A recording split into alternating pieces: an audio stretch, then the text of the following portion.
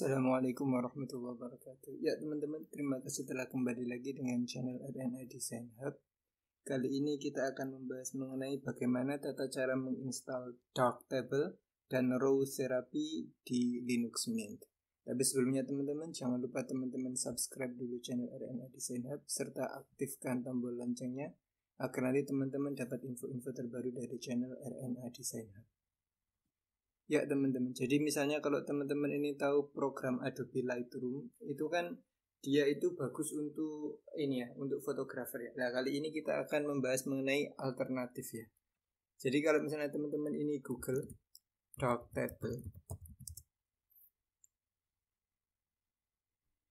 Nah, teman-teman pergi ke darktable.org maka ini jadi ini adalah program alternatif free open source dari um, Lightroom, Adobe Lightroom. Kalau Lightroom kan bayar mahal, nah ini free open source ya. Jadi kerennya Darktable ini ini bisa dia bisa mengedit banyak foto dan dia bisa nge-resize banyak foto. Jadi dalam waktu satu sekaligus. Kalau Photoshop kadang-kadang kalau teman-teman kan ini ya, uh, kalau ngedit kan satu per satu. Tapi kalau di Lightroom, Adobe Lightroom kita kan kalau ngedit bisa banyak foto sekaligus, bisa ratusan atau ribuan foto lah. Darktable ini adalah versi gratis dari uh, Adobe Lightroom. Jadi dia ini di, by fotografer dibuat oleh fotografer untuk fotografer ya. Jadi ini keren lah ya. Jadi teman-teman bisa menginstal ini. Dan yang kedua teman-teman juga bisa menginstal Raw Therapy. Jadi ini juga aplikasi gratis juga. Jadi nanti teman-teman bisa memilih menggunakan Darktable atau Therapy ini tergantung teman-teman ya. Karena um, lebih ke arah preferensi ya. Jadi ini cocok-cocokan ya. Kalau saya cocok dengan ini dengan um, Darktable tapi nanti mungkin teman-teman juga cocok dengan Raw Therapy juga ya. Bisa dicoba-coba. Ini bisa mengedit macam-macam ya. Termasuk kita juga bisa mengedit ini ya apa um, dark roomnya juga bisa ya. Jadi nanti teman-teman coba-coba sendiri oke? Okay? sekarang kita langsung menuju ke bagaimana tata cara menginstalnya. Ini saya minimize jadi tata cara gampang untuk menginstalnya teman-teman pergi ke software manager seperti biasa. Lalu dari sini teman-teman cari Darktable Oke, ini pastikan teman-teman pilih yang flat hub karena yang flat hub ini versi yang paling terbaru ya selalu ya. Kita pilih install. Kita continue continue. Lalu ini tinggal teman-teman menunggu sampai selesai ya.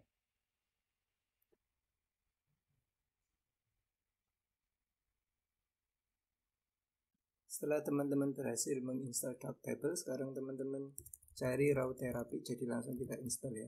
Raw therapy raw terapinya juga pastikan yang dari flat hub karena ini dari flat hub ini yang paling baru. Lalu ini teman-teman install.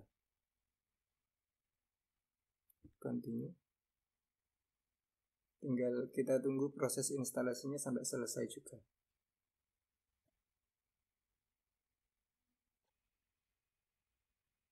Oke, begitu ini selesai teman-teman bisa menutup software manager. Nah, setelah itu teman-teman bisa membuka ini keduanya. Kita coba ketik Darktable. Kita import dulu image-nya. Kita misalnya kan ini saya sudah punya tiga image dari Google ya. Ini sudah saya download tadi. Jadi ada tiga image untuk uji coba. Oke. Nah, jadi ini teman-teman, ini ini image yang sudah kita import dari itu ke Darktable ya. Kalau misalnya teman-teman ini pengen, ini ada di light table, ada yang darkroom. Jadi kalau darkroom ini dia ini untuk ngedit ini ya tone dasarnya ya. Misalnya kita mau ngedit exposure-nya berapa, nah, seperti itu. exposure-nya misalnya ini mau kita naik turunkan ya, gitu tinggal dirubah-rubah gini. Nanti teman-teman ini aja coba-coba sendiri ya kalau misalnya ini teman-teman ini mau katakanlah merubah nge-resize image teman-teman bisa dari sini. Jadi ini caranya di blok semua seperti ini. Dari light table teman-teman menuju ke export selected. Maka ini teman-teman bisa ngerubah ini ya kualitinya jadi nanti teman-teman misalnya katakanlah ada katakanlah kadang-kadang kita kan kalau dari kamera DSLR itu kan filenya besar ya bisa 10 mega satu file. Nah misalnya teman-teman pengen ngerubah filenya menjadi katakanlah cuma satu mega per file teman-teman bisa dari sini. Jadi misalnya berapapun foto yang teman-teman ini yang teman-teman impor nanti teman-teman tinggal di select semua terus ininya di pilih kualitasnya katakanlah 85% atau 80% terus nanti teman-teman ini um, direktorinya teman-teman pilih katakanlah ditaruh di mana gitu. Ditaruh katakanlah di picture juga. Terus habis itu nanti teman-teman tinggal file name-nya ini katakanlah teman-teman kasih biar beda gitu ya. Underscore resize. File formatnya jangan lupa teman-teman diganti ya. Ini open XR ternyata. Ini teman-teman jangan lupa nanti teman-teman pilih katakanlah teman-teman pilih JPEG atau apa misalnya ya. Misalnya kita pilih JPEG gitu kita ekspor. Oke lalu teman-teman bisa nge-close kalau sudah selesai. Kita cek sekarang filenya. Ya ini yang resize kita ya tadi ya.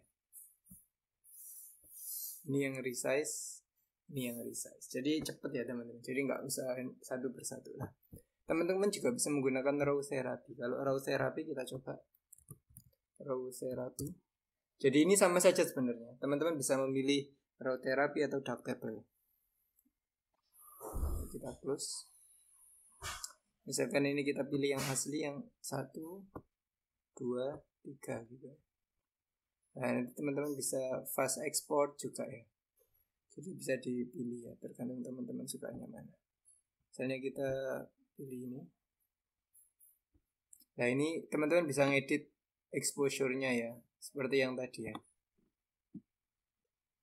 Kalau misalnya teman-teman mau mencoba-coba bisa dicoba-coba sendiri ya. Jadi kita tinggal pilih image-nya seperti ini double klik Terus habis itu kita rubah lightness-nya atau kontrasnya atau saturation-nya gitu ya. Nah, teman-teman coba-coba sendiri seperti itu. Nanti bisa teman-teman ekspor ya masing-masing. Cuman kalau misalnya teman-teman ini meng telah menggunakan Adobe Lightroom maka teman-teman akan mudah untuk beradaptasi dengan um, Darktable atau Raw Therapy. Jadi terserah teman-teman sekalian.